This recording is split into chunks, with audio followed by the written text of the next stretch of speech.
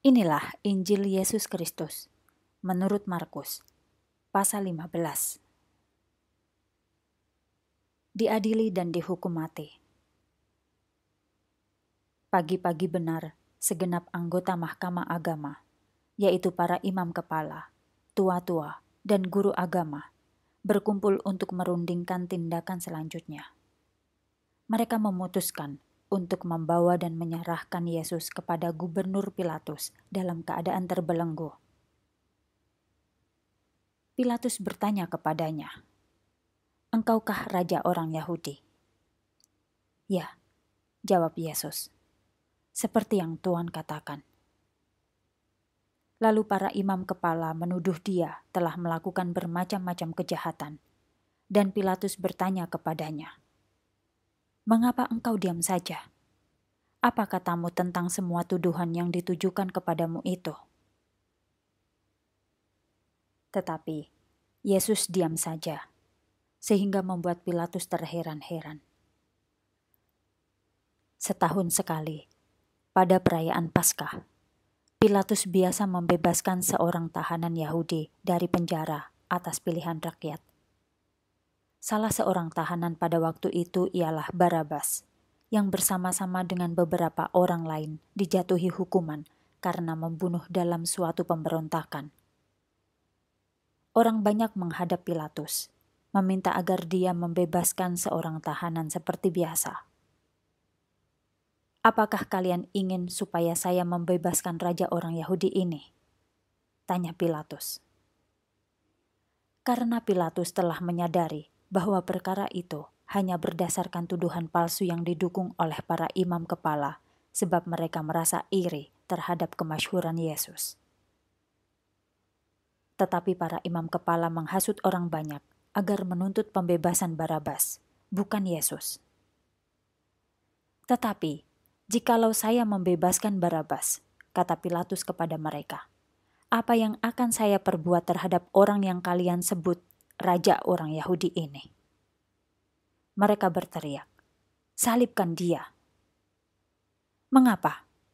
tanya Pilatus. "Kesalahan apa yang telah diperbuatnya?" Mereka malah berteriak lebih keras, "Salibkan dia!" Karena Pilatus takut akan terjadi kerusuhan dan ingin menyenangkan hati orang banyak, ia membebaskan Barabas ia memerintahkan agar Yesus dicambuk, lalu menyerahkan dia untuk disalibkan. Prajurit-prajurit Romawi membawa dia ke dalam istana. Mereka memanggil segenap pengawal istana, lalu mengenakan jubah ungu kepada Yesus dan membuat sebuah mahkota dari duri-duri yang panjang dan tajam, serta meletakkan mahkota itu di kepalanya. Kemudian mereka memberi hormat sambil berteriak, hidup raja orang Yahudi. Lalu mereka memukul kepala Yesus dengan sebatang tongkat, meludahi dia, dan berlutut di depannya untuk menyembah dia. Akhirnya setelah mereka merasa puas mengejek Yesus, mereka menanggalkan jubah ungu itu dan menggantinya dengan pakaiannya sendiri, lalu membawa dia pergi untuk disalibkan. Simon dari Kirene yang baru saja datang dari luar kota dipaksa memikul salib Yesus. Simon adalah ayah Alexander dan Rufus. Mereka membawa Yesus ke tempat yang bernama Golgota. Golgota berarti tengkorak. Ia ditawari anggur yang dicampur dengan daun-daun yang pahit, tetapi ia menolak. Lalu mereka menyalibkan dia. Mereka membagi-bagi pakaiannya dengan membuang undi untuk menentukan bagian masing-masing. Penyaliban itu dilaksanakan kira-kira pukul 9 pagi. Pada salib itu, di atas kepalanya, dipasang sebuah papan dengan tulisan yang menyatakan kejahatannya, yaitu Raja Orang Yahudi. Ada dua perampok yang juga disalibkan pada pagi hari itu. Salib mereka ditempatkan di kanan kiri salib Yesus.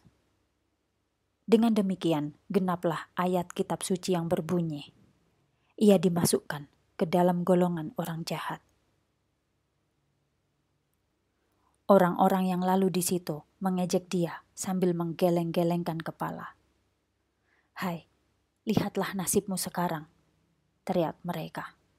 Bukankah engkau dapat merobohkan bait Allah dan membangunkannya kembali dalam tiga hari?